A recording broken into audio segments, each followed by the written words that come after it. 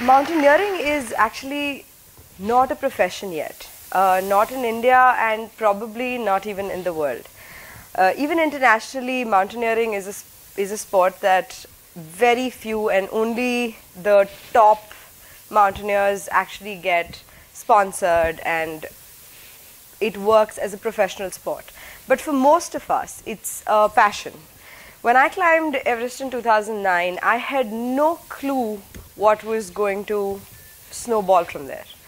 And when I got into it, um, I've spent all my childhood summers in the mountains.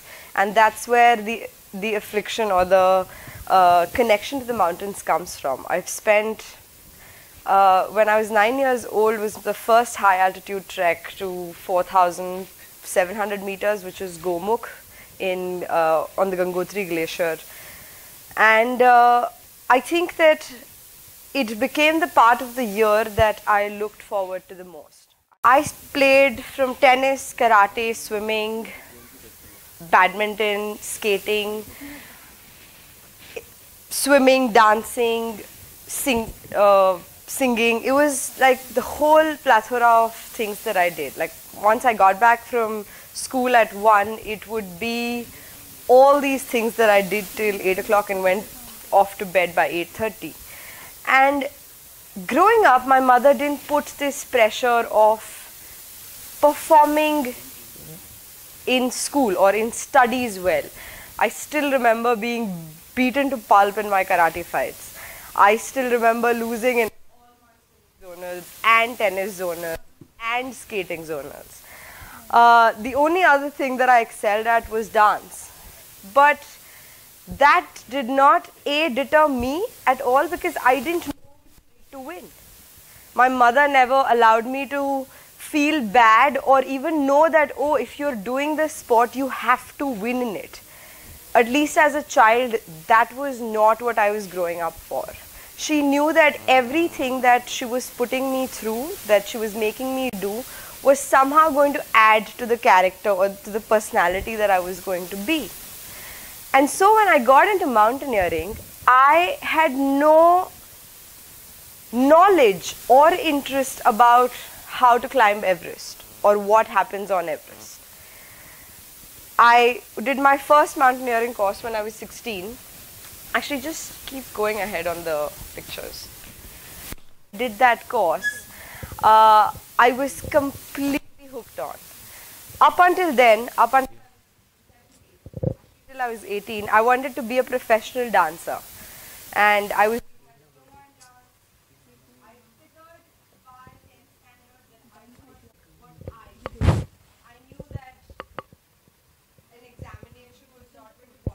for anything. I knew that. And so once I finished my 12th standard, I had I didn't want to go to any college. So of course I I joined my dance institute. But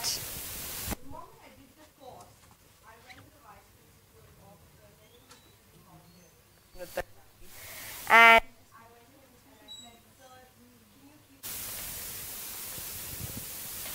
and in these eight years, one of the things that I've realized as a mountaineer is that you have to make it sustainable. You're a management institute, you're all about business. Uh, and to bring something that is not business to a working business model is one of the toughest things that you can do.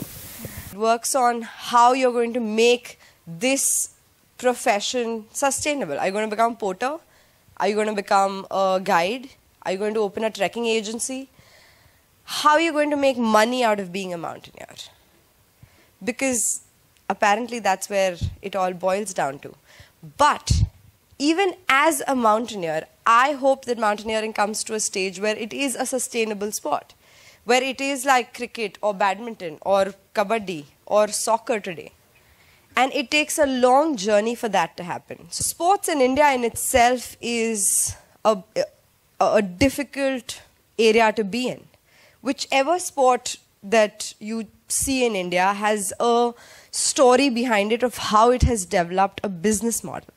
And that becomes really, really difficult to think about. In mountaineering, we need, Everest was alone 30 lakhs to climb this and I was 19 years old. I went to every FMCG company, everyone. How can I make this sustainable? How can I get a company to pay 30 lakhs or 50 lakhs for an expedition where it has no eyeballs and where how do I justify 50 lakhs?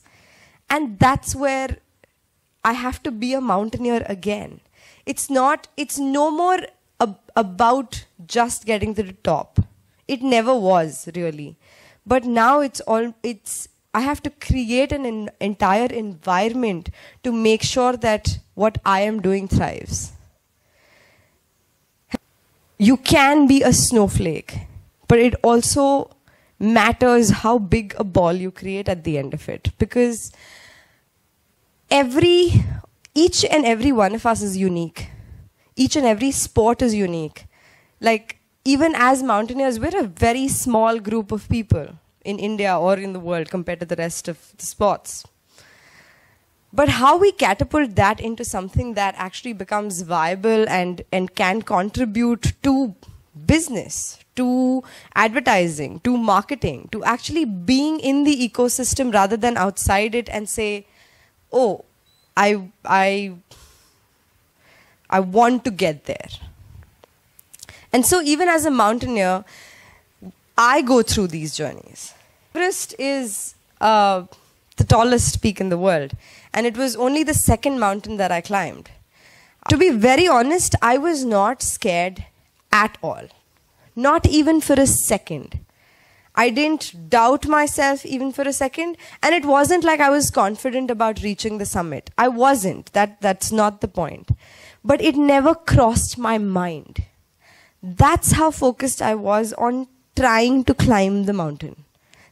And I don't know how and when, but it was always about being able to be on that expedition, being given an opportunity to climb to the highest point. You have to enjoy the journey. The destination is seriously immaterial. I was at the summit, this is my team, and for my entire team, the Everest was their last seventh summit. Se- Out of eight of us, four of us reached the summit, and two of us were extremely serious medical conditions and had to be lifted out. One of our Sherpas died. Uh, mountaineering is, is also one of the sports that requires all our faculties to be present. When I actually got into it, when I wrote my 10th standard maths paper, I swore I would never do maths in my life again. Like, but when I got into mountaineering, it was one of the first things that I had to do was geometry and maths, and it was so very difficult, especially at high altitude when your brain's not really working. Now I do Sudoku up there just because I have to keep my mind alive. But mountaineering ex- expects us to know geography, weather, geology, how today's weather is going to affect the snow that is there in layers at various points and where it could trigger off an avalanche. I didn't even know you could measure such thing when I got into it. We have to know biology, we have to know psychology, we have to know logistical planning in terms of how our rations are divided and taken up the mountain or taken down the mountain. We're supposed to know medical first aid. We're supposed to know uh, weathers. We're supposed to know maps. And it actually ties everything down from how to cook and to make sure that scientifically your stove is correct because at 7,000 meters or 8,000 meters, when you're trying to make chai, it takes about an hour or so. Mountaineering is also the thing that sort of allowed me to realize that that I am capable of sticking to the things that I've learned as a child and just be one of the main things that I am currently doing as a mountaineer is to make sure that mountaineering becomes socially relevant. I want everyone to know what we do. Right now, we live in India where most people think Everest is India, in India. So when we climb, we do something called rotations, which is uh, to acclimatize our body to the height that we're at. We have to make sure that our body knows how to deal with it. So once we reach base camp, we go to camp one. We put our luggage there, we put our rations there, we set up tent. We probably make chai, drink it, and come back down. The next day, we'll go again to camp one, we'll stay the night We'll go to camp two. We'll open route to camp two, dump our stuff at camp two, put up tent there, stay the night there, come back down, rest for two, three days. Again, there's a lot of planning in terms of which equipment goes where, how it will survive there. If it's food, will it exist by the time you go there? Everest is also considered like we always use that phrase if it's the toughest thing to do in your life, it is always what's your Everest? Or have you still managed to find your Everest? And I think climbing does that in a lot of ways for, at least for me. And that is to allow me to push that boundary no matter what it is only stepping out of your comfort zone and coming back in if that's necessary, but that allows you to push that circle further and further away. And that's exactly what I'm trying to do, and I think will continue to do. Mountaineering is also one of the only reasons that uh, has brought me so close to realizing what we do as a generation. I've seen glaciers melt in my lifetime, which is ridiculously upsetting for me. I was nine when I'd first seen the Gomukh, uh, the Gangotri Glacier, and I was 18 when I saw it next. And it had actually a different level. It was 800 meters further a walk than it used to be. 800 meters is a lot. This was at camp, summit camp, uh, sorry, uh, South Summit, which is 8,500 meters. And I reached there about 5.30. And the sun was still to come out. It was on my right side, way down. The clouds, the clouds that you see are at 4,000 meters, and I'm at 8,500. So they're literally half the height that I am at.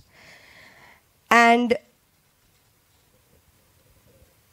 on the left, I suddenly saw this shadow. And I mean, this is five minutes into when the shadow first uh, appeared, but the shadow was actually above the horizon on my left.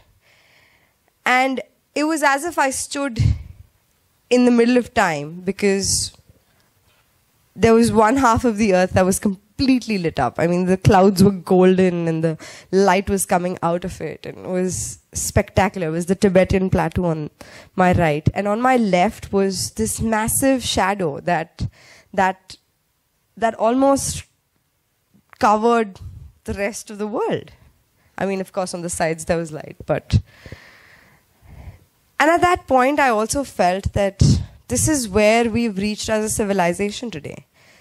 You know, we technology and internet and connectivity and trade and development and agriculture has brought us to 8,500 meters. We're very, very high right now.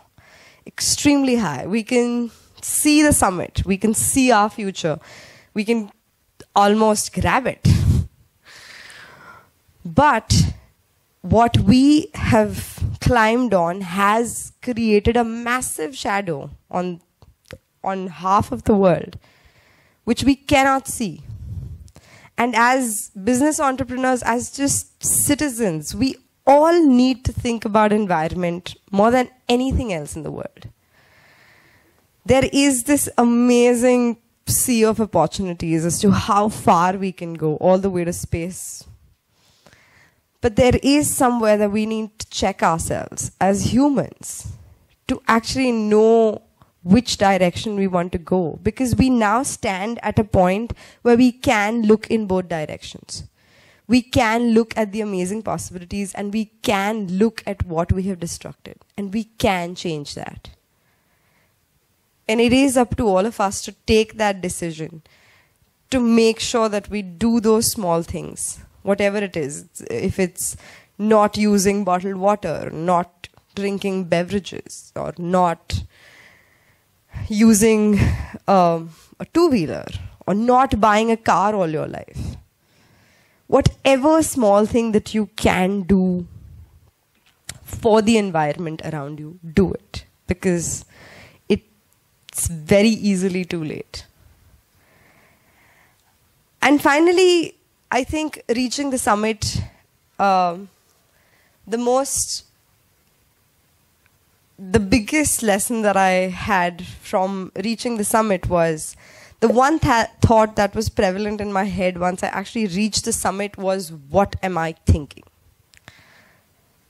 Because I had no clue what I'm thinking. I was completely blank. There was not a thought left in my head. Because I had finished them all by the time I reached the, reached the summit. And so at the summit, I kept saying to myself, What am I thinking? Because I knew somehow that I had to answer this question all my life. What were you thinking when you were right on top of the summit? And honestly, nothing. Shunya. And it's it's not nothing also.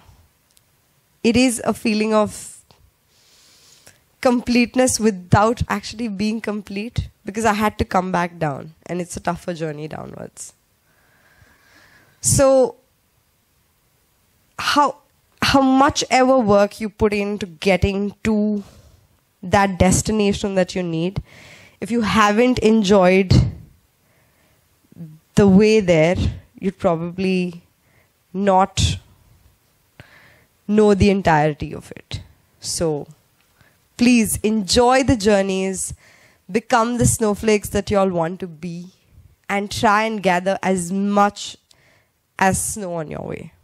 Because that's the only way to keep coming down, actually. Thank you.